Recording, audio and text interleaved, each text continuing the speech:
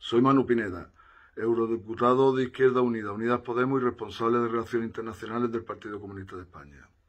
Y sobre todo un activista internacional.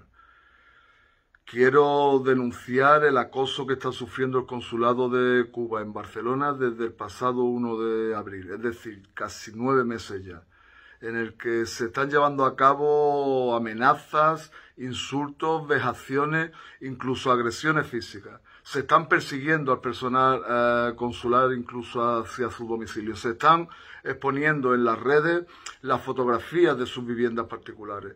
Eh, se ha llegado a, agredir a un hombre que bajaba del consulado o del piso del consulado, confundiéndolo con el, con el cónsul.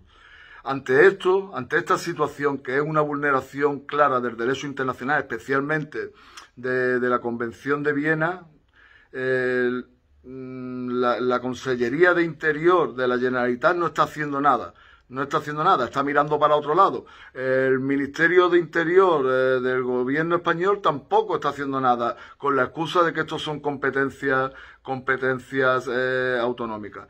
Y lo cierto es que están teniendo una pasividad que se podría considerar cómplice. Mm, exigimos a la Consellería de, Interior de la Generalitat Catalana y si esta no cumple, le exigimos al Ministerio de Interior del Gobierno Central que haga cumplir la legalidad, que cumpla ellos con sus obligaciones. Y si no es así y la cosa va a más, serán responsables, serán responsables de las consecuencias que puedan tener estos actos delictivos.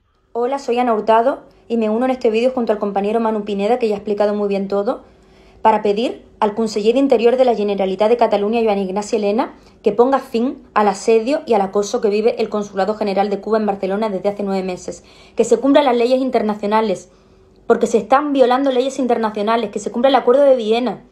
Lo denunció primero Defensa en Cuba, luego lo he denunciado yo, seguimos sin respuesta, y esto es un blanqueamiento del fascismo en toda regla.